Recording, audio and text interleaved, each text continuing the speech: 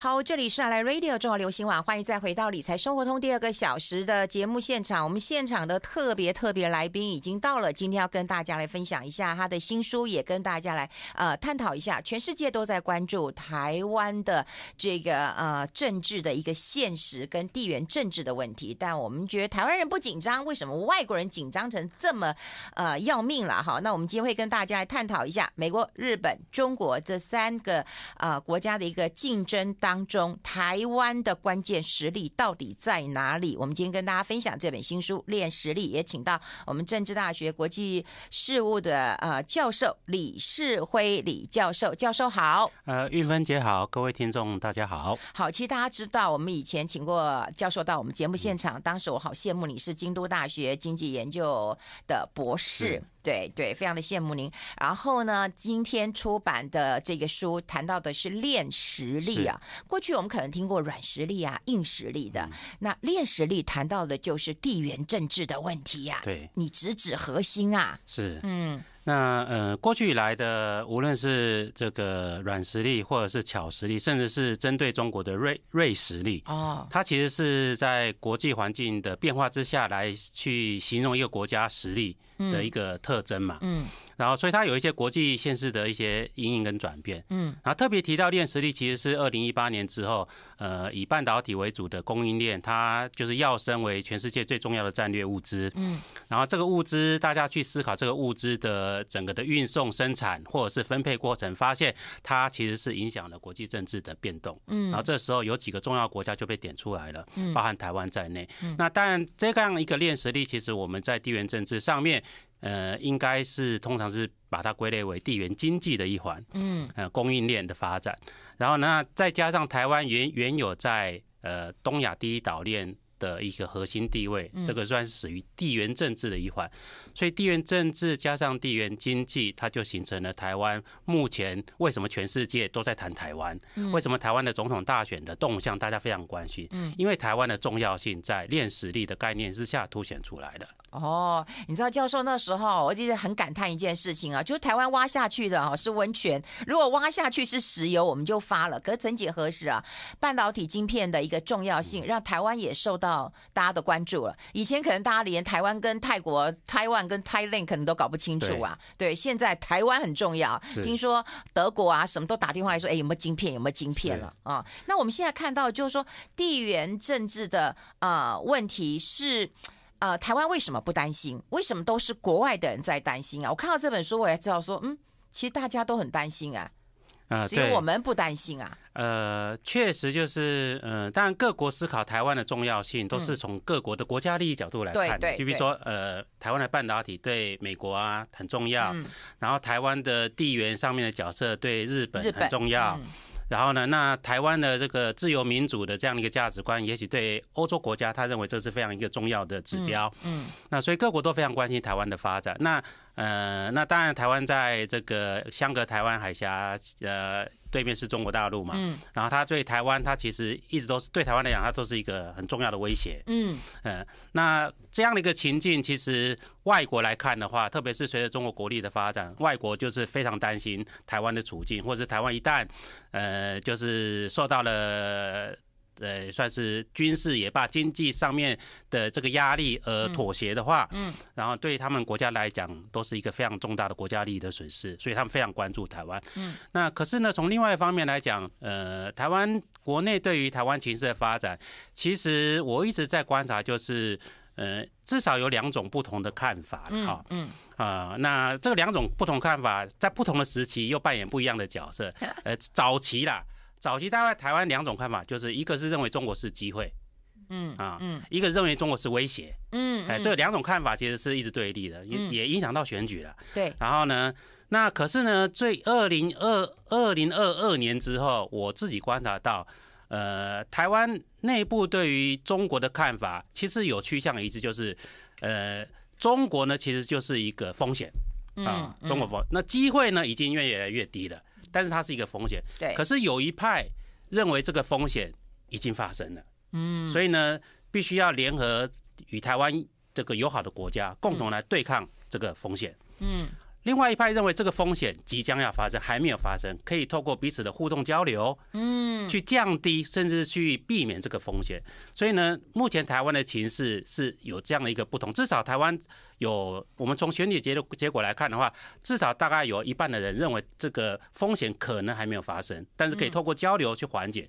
另外一半的人认为风险已经发生了，所以台湾内部的意见对于这个风险还没有一个一致性，所以也会形成台湾内部对这样的一种风险有不同的讨论。嗯，就是也没有这么样的迫切性。嗯，那国外其实是呃比较没有看的这么多，他只看单独看半导体。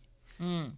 单独看军事力量的变化，对对，嗯，所以他会觉得台湾海峡可能风险很高。哦，我是有很多的朋友移民啊，去美国的，去澳洲的，然后每次看到什么共军来了或者怎么样，他就跟我说：“你有没有准备水呀？你有没有准备泡面呐？”我说：“我出出巷口就可以买到，我干嘛要准备啊？” 也就是说，不管是官方或者是民间，那个那个落差蛮大的耶。外国人，你住在外国的人，可能紧张的要死，台湾人一点都不紧张。对，确实，当然我们也也有也有一个原因，可能是那报道这样的新闻，其实媒体的收视率啦，或者特别是国外啦，媒体的收视率可能会某种程度的上升，或者是大家会关注这些新闻，或者是有的时候也跟这些国家为了要编列自己的预算，然后呢取得民众的谅解是有关的，所以它其实是有很多的复杂的因素。那如果他们真的来台湾的话，他们也许可以。观察到真正的实况。嗯嗯，可是教授，你觉得台湾现在已经做出了嗯一个一个选择了吗？你的观察？我认为其实就是台湾做出的选择。我认为台湾其实是朝向一个呃大家所看到的方向在走啦。然后呢，应该是做出了某种程度的选择。可是做出这个选择之前，他其实要对国际形势的发展有一个确定的认知，就是未来是一个什么样的国际形势。你在确定未来之后，你才能够做出个这个选择。那未来的话，以半导体来说的话，嗯，因为张忠谋讲了一句非常有名的话，就是在半导体的产业里面已经没有全球化了。对，他已经讲错了这句话。对对对。可是呢，这并这并不代表所有的产业都没有全球化。嗯啊，那唯独半导体目前是已经。已经没有全球化的，嗯，那未来会不会出现这种，就是所有的产业都没有全球化？我在书里面是用半球化，嗯，就是呃，欧美日是一个规格，嗯，然后呢，中俄是一个规格，嗯，然后这两个规格互不相容。以比如说未来的半导体来讲，或者是 AI 系统来讲，这个两个系统应该是不相容的，嗯，因为它涉及到国家安全，嗯。那未来是不是所有的产业都会朝向这两个不相容的规格发展？目前还没有定论。可是半导体至少我们看到是这样子。嗯。那如果你认为未来是一个半球化的世界的话，那我们现在就必须要选边。嗯。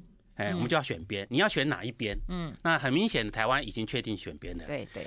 那如果你认为未来可能又会重返全球化的时候，嗯，这时候你可能要有不同的国家战略。嗯。所以这是另外一个思维。嗯，那这时候是不是要不要过度选边？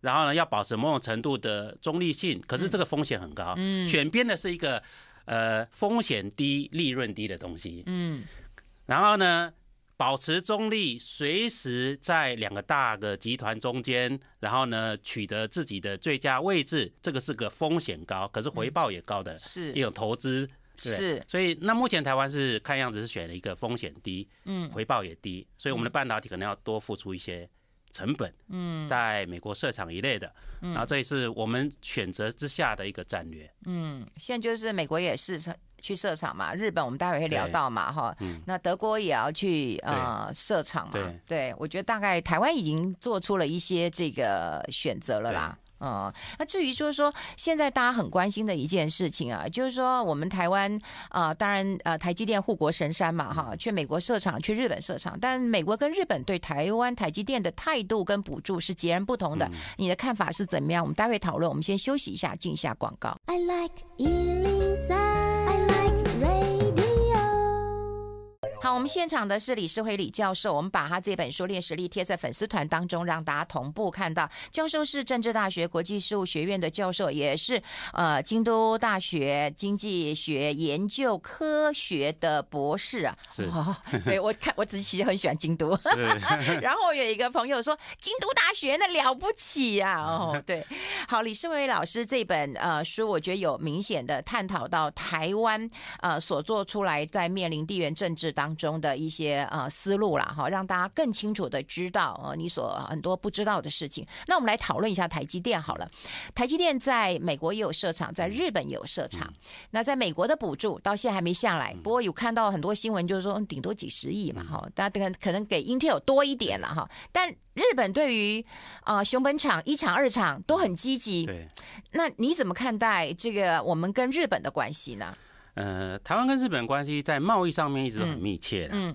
然后呢，那过去来就是一种叫做我们在学术研究上面，我们叫做政冷经热，就是政治上面非常冷漠，就是很冷淡。对。啊，日本的这些跟我们没有正式的政治交流管道，可是经济上面很热络。呃，就是正冷经热。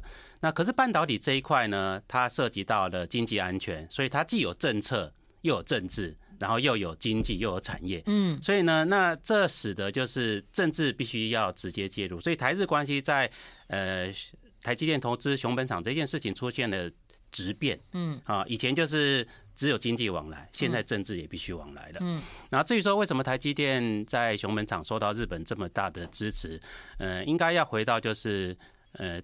当初很多的报纸在报道这个台积电熊本厂开幕的时候，都说是黑船来袭。嗯，哎，可是我的想法比较不是这样。我的想法认为就是，对日本来讲，黑船来袭其实是电动车。嗯嗯，呃，因为日本国家产业，特别是日本的产业的核心其实是汽车产业。对。然后呢，电动车直接冲击了日本汽车产业的竞争力，特别是核心竞争力，引擎这一块。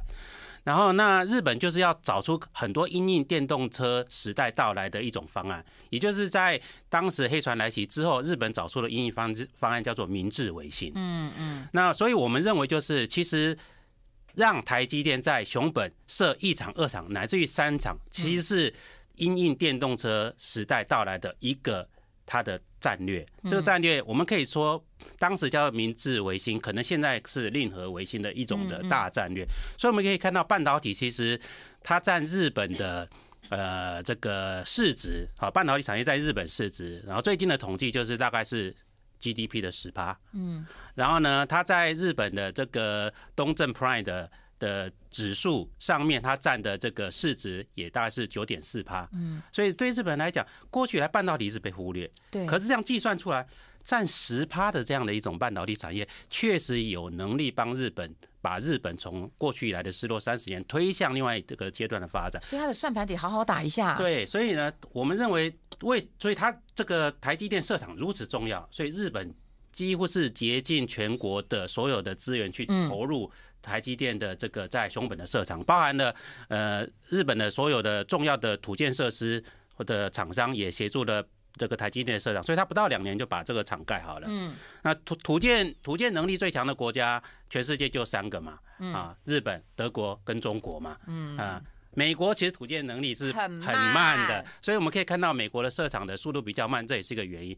加上其实台积电也非常聪明，台积电在跟日本谈判的过程中，它已经设立一个台积电对外设厂的一个模式，嗯，就是要呃半额补助。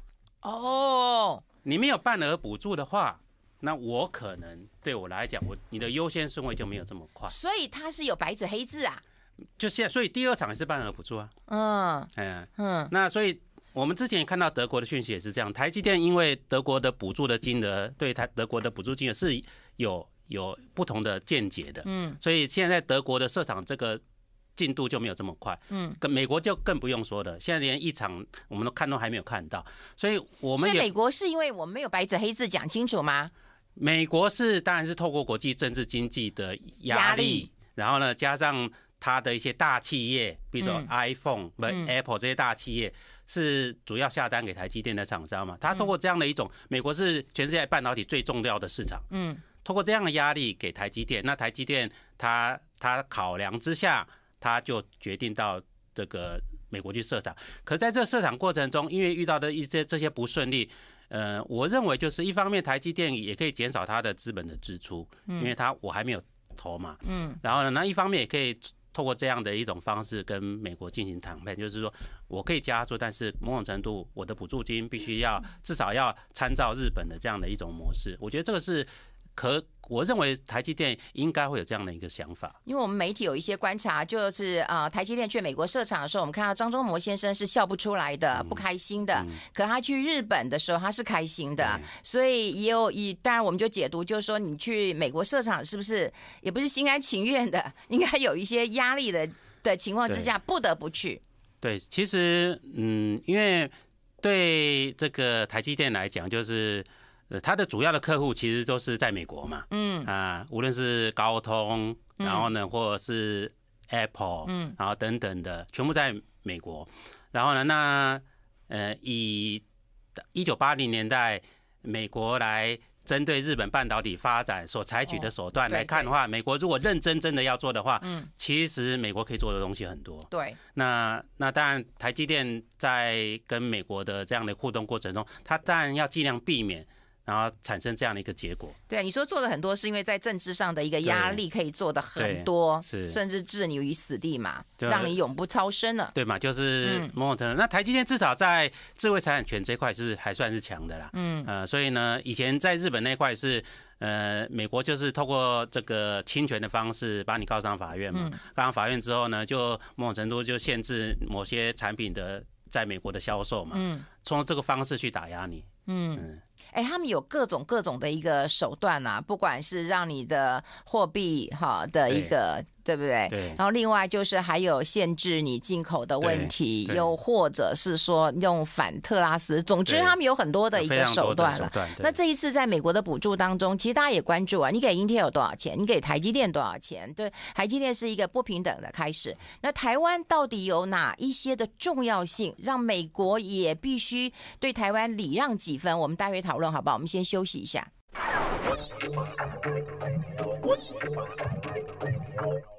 好，欢迎回来《理财生活通》，我是夏云芬，在我旁边的就是李世辉李教授了。我们跟大家来聊聊这个练实力，让大家更清楚的、更完整的知道了。那么，什么叫地缘政治？我们是用想呃，就想的啦，或者是用猜的。那么，教授呢，用我们对于他的预测来看看到底地缘政治应该进行哪些的盘点。我们刚刚从美国开始盘点起来，就是说，美国到底他很在乎台湾的，对不对？他也不能够没有台湾的一个晶片，但他另外一手也。要扶植呃 Intel 的，他的这个私心其实全世界都看得到。那美国的算盘到底是什么呢？呃，美国的话，如果我们从过去几年美国对于特别是全球或者是亚太地区的战略布局来看的话，呃，很多媒体都说其实新冷战已经成型了。嗯，然后呢，那那新冷战跟旧冷战，旧冷战我们大家都知道嘛，在一九这个四七四八年开始的。然后旧冷战的时候，对抗的是共产主义嘛，嗯，然后美国率领自由民主阵营对抗共产主义。嗯，那新冷战对抗的到底是谁？嗯，虽然你对抗的是中国，不是你对抗，不是只有一个国家。我认为中现在美国对抗的是中国主义。嗯，那中国主义其实它又涉及到了供应链问题，又涉及到了安全的问题，又涉及到价值观的问题。啊，举例来讲好了，呃，现在美国其实比较担心就是。呃，美国一直认为，呃，市场经济必须要搭配民主政治，嗯，这样才会成功，嗯，所以他在对于这些发展中国家，他的要求也是这样：你市场开放之后，你要推动民主改革，嗯，然后他这这是符合美国的价值观的。可是中国过去三十年来提供了一个不一样的发展道路，我可以做市场经济，但是我不需要民主改革，嗯，而且从数字上面来看，当然中国内部有很多问题，从数字上面来看。外国人认为中国在这一块是成功的，嗯，所以他对一些发展中国家非常有吸引力哦，嗯，特别是非洲啦、中南美洲的国家，他认为这些这些执政者可能不想要放弃权力，嗯，可是他又想要经济发展，这时候中国提供了这个发展的模式，对他来讲，给你钱呐，对他他认为中国成功了，所以让让中等于说随伴随着中国的发展道路去走的话，他们国家也会成功，这对美国或者是西方世界来讲，这个是他们认为是。不希望看到的结果。嗯，所以在这个状况之下，无论是中国的军事力量的发展，中国经济力量发展，中国想要打造红色供应链，自己的供应链，特别透过“一带一路”扩张自己的供应链的范围，嗯，然后再加上他要推动他的中国主义，那台湾在这三个重要的竞争场域里面都是关键，无论是供应链上面的半导体跟 ICT，然后无论是面对中国主义的这种的发展道路，台湾提供了一个美国认为是一个最符合他价值观的发展道路——自由民主跟市场经济。嗯，在安全上面，中国想要就是成为一个海权国家，他必须要先突破台湾海峡，必须要拿下台湾。嗯，这时候台湾在这边又扮演一个算是呃阻挡中国或者是呃牵制中国成为海权国家的一个关键。所以对美国来讲，台湾的重要性。是我我自己来看，就是呃，过去历史以来前所未有的重要。对啊，我看你的书之后，我觉得我的那个腰杆更笔直了，因为台湾真的三链一体啊。而且说实在的，这种我们岛链的一个关键位置，我也不能说叫我搬家我就搬家，我就在这里呀，我哪儿都不能去啊。好骄傲哦。确实，确实。那刚刚所提到的，无论是半导体也罢，或者是岛链也罢，它都有不可替代性。对，就是美国找不到，呃，至少是短期之内，嗯，可预见的未来是找不到，嗯，然后可以来去。牵制中国，或者是来去抗衡中国的这些最有力的伙伴。嗯，目前台湾是一个对美国来讲是不可替代的。嗯，哎，那老师，我想问你一个问题啊，因为之前在投资市场当中有讲，就是说台积电当然就是在呃竹科嘛，哈，是一个大本营，所以呢，当时有很多人讲说买房子要买到新竹去啊，万一真的有什么状况的时候啊，这个中共至少就不会不会这个 打到新竹啦，哈。但现在。在台湾也是遍地在在开花了，对不对？你说新竹啦、台南啦、啊高雄啦，之前还说嘉义，我们嘉义也好了，就等你点头了。这种遍地开花的，所以这是希望就是中国不要炸过来了吗？还是怎样呢？呃，确实就是那当然就是我们也没办法确定，就是说。呃，中国如果武力犯台的时候，他要采取什么样的方式？嗯，他会不会先去用飞弹进行攻击等等的，或者是摧毁台湾的这些最重要的价值？嗯，呃，老实说，台湾的价值对美国重要，对中国来说也很重要。对我们甚至还开玩笑说，你不用担心，呃，不不要只有担心中国会炸过来，搞不好美国先把你炸掉。对，其实我在书里面其实用了“魔戒”这个概念来形容，就是说，嗯，呃，我相信大家都看过《魔戒》这部电影或者这部小说。对，哎，那魔戒呢，谁拥有魔戒，谁就拥有了至高无上的权利。嗯，然后呢，现在看起来中国跟美国都想要掌控台湾这支魔戒。对，然后呢，那可是呢，这支魔戒只要被一个人掌控。然后呢，那另外一个人他就不会坐以待毙，所以其实这也是西方国家非常担心的一点，就是或者是中国也很担心一点，就是说一旦台湾的现况出现了怎么样的转变，它就会导致战争，因为双方都不愿意对方拿到这支魔戒。我们可以试想，就是假设台湾现在完全被美国人掌控，嗯，完全就属于美国的话，嗯，呃，我相信很多人会认为中国绝对不会坐以待毙。嗯嗯，另外一方面，当中国把台湾变成自己的的时候，嗯，西美国跟日本会不会坐以待毙？我认为也不会，只是说现在这个状况，就双方都想要这一纸魔戒，可是双方都还不至于完全拥有这一纸魔戒的状况之下，那这纸魔戒是属于台湾人自己的话，就有点像魔戒里面的哈比人一样。嗯呃，大家都在争，可是呢，最后是落在哈比人手上嗯的话，是相对比较安全的。嗯，所以其实台湾的历史也是这样啊。我在书里面有提到嘛，因为过去四百年来，就是围绕着台湾，有多少国家在抢，对不对？先是西班牙，然后荷兰也来了，然后呢，清朝也来了啊，郑成功中间还有一个，然后呢，日本也来了。呃，我我特别提到，就是日本其实是因为拿下台湾之后，他才有能力往东南亚发展，因为台湾的下面是菲律宾，嗯，然后呢，菲律宾当时是美国的殖民地，嗯嗯，所以日本拿下台湾，他往东南亚发展，第一个碰到的国家就是美国，所以太平洋战争，嗯，然后日本败了，我们可以说日本因为拿了台湾这支魔戒，我是说在二次世界大战之前。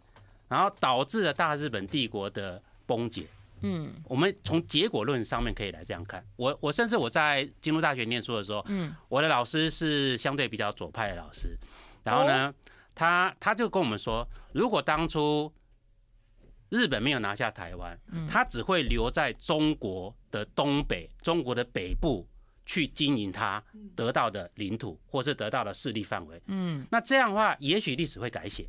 嗯，因为他就不太会跟欧美国家，因为。菲律宾下面是英国的殖民地嘞，嗯，是荷兰的殖民地，嗯，他就不会跟西方国家进行直接冲突。那这样的话，整个的世界历史可能会改写。嗯，那老师有没有？问你的老师，就是他的想法到底是什么？他希望是哪一种的一个结果？因为他是日本人嘛。对。好，我们待会来讨论一下，就是台湾如果真的有事的话，美国人怎么看？日本人怎么看？现在连菲律宾都有意见呢。我们待会讨论。我们先休息一下，进一下广告。I like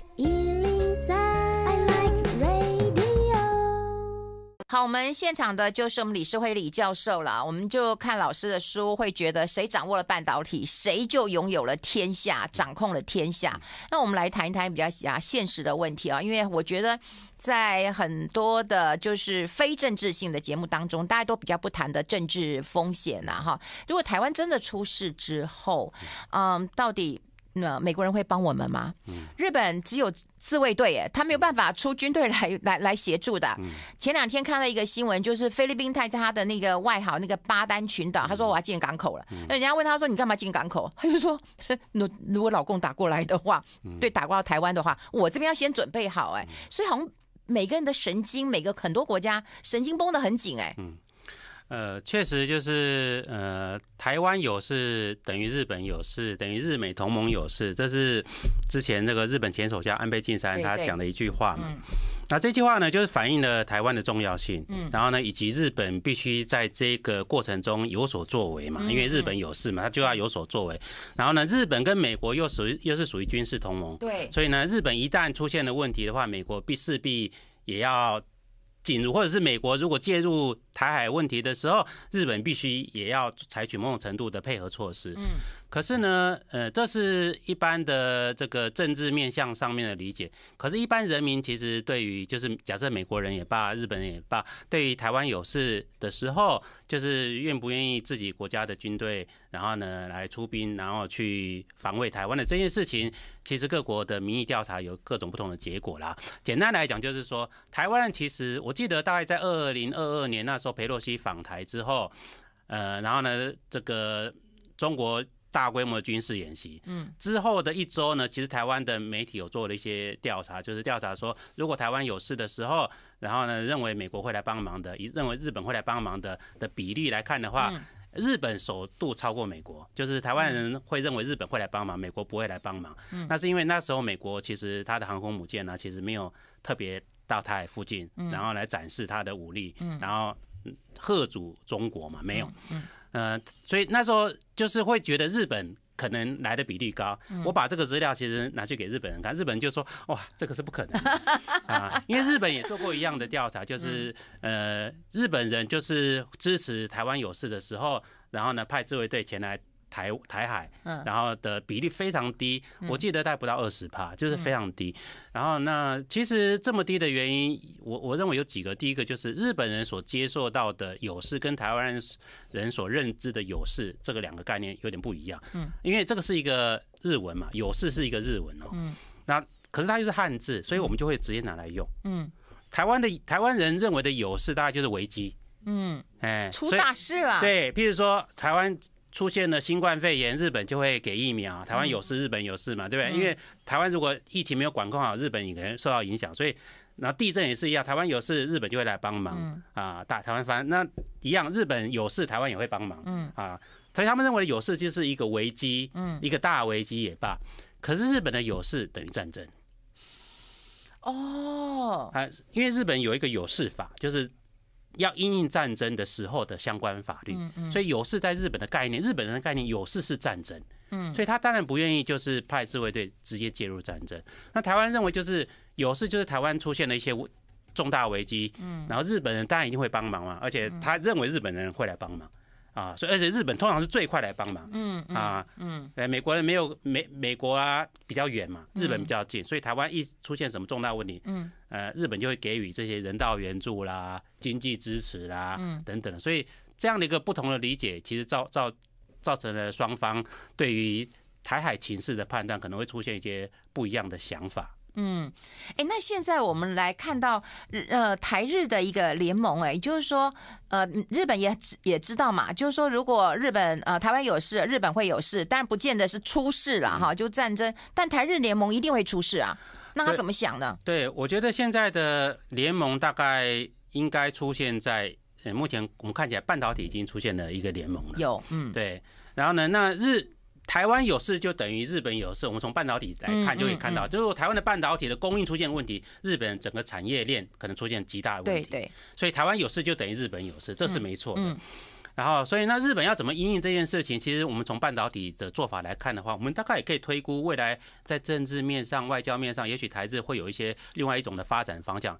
日本现在其实，在半导体的产业这一块，特别是国内这一块，它过去以来其实是比较是奉行的是全球的专业分工。嗯，我日本掌握的关键的设备、关键材料。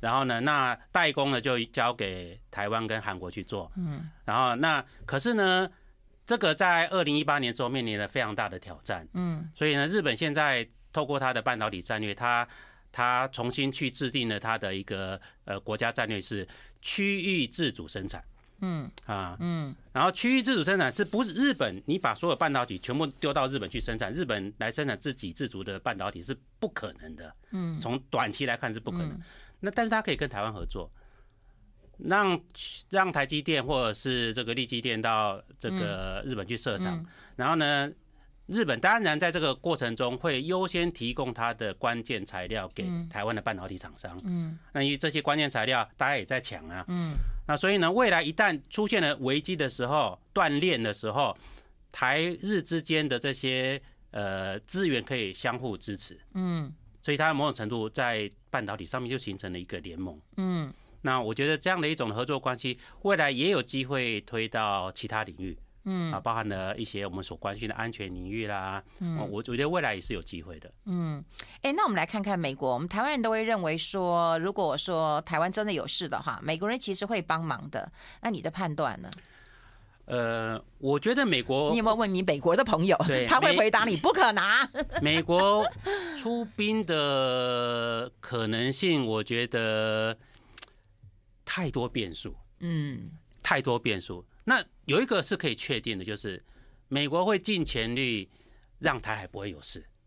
嗯这个我们是可以确定，美国会尽全力让台海不会有事。嗯因为台海有事对美国来讲，它会面临到一个非常艰难的选择。这个艰难选择是台湾又如此重要，可是呢，依照美国国内的政治情势，你要大规模的派兵去打一个，或是去对抗一个 GDP 跟它差不多的国家，嗯的这件事，它不是一个小国，嗯它是一个大国。美国几乎在历史上面应该没有主动跟一个大国进行嗯双面的战，对对一对一对一的战争嗯行为，几乎没有。他打的其实都是中型国家小国，嗯在在在过去以来，所以这个是一个非常艰难的选择。美国自然不愿意面临到这个艰难的选择不。管未来十一月选出来总统是谁，我我都有认为影响嘛。我们待会讨论好不好？我们先休息一下。